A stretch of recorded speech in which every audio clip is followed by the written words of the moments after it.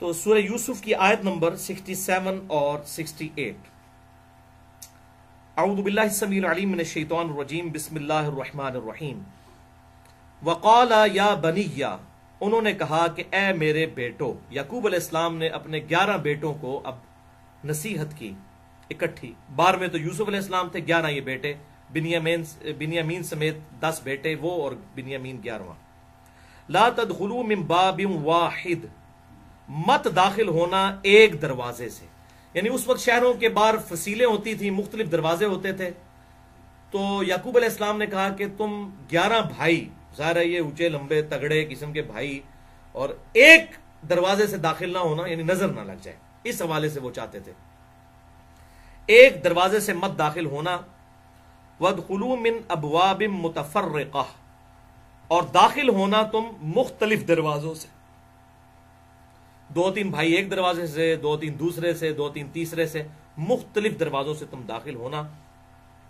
وما اغنی عنکم من اللہ من شیء ہاں نہیں پہنچا سکتی کوئی چیز بھی فائدہ تمہیں اللہ تعالیٰ کی تقدیر کے مقابلے پر۔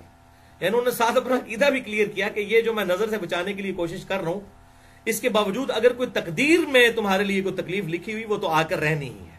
میری یہ تدبیر جو ہے تمہیں روک نہیں سکتی۔ تقدیر والا معاملہ، البتہ نظر جو ہے وہ برحق ہے، وہ انشاءاللہ بخاری مسلم کی حدیث کی روشنی میں میں بتاؤں گا کہ نظر تو لگ جاتی ہے۔ البتہ اگر نظر والا معاملہ نہ بھی ہو اور کوئی تقدیر والا معاملہ ہونا ہو، اللہ کی طرف سے ولا نبلونکم بشیء من الخوف والجوع، اللہ کی طرف سے کوئی ازمائش آنی ہو تو وہ تو آ کر رہے گی۔ ان الحکم الا للہ حکم تو نہیں ہے مگر اللہ ہی کا۔ علیہ توکلت اسی پر میں نے بھروسہ کیا وہ علیہ فلیتوکل المتوکلون۔ تو توکل کرنے والوں کو اسی ہستی پر توکل کرنا چاہیے۔ ولما دخلوا من حیث امرهم ابوهم جب وہ مصر میں داخل ہوئے اسی طریقے سے جیسا کہ ان کے باپ نے انہیں حکم دیا تھا۔ ما کان یغنی عنہم من اللہ من شیء۔ تو اللہ تعالی کے مقابلے پر ان کو تقدیر کے اس معاملے میں کوئی چیز فائدہ نہیں پہنچا سکتی تھی۔ الا حاجتن فی نفسی یعقوب قضاء۔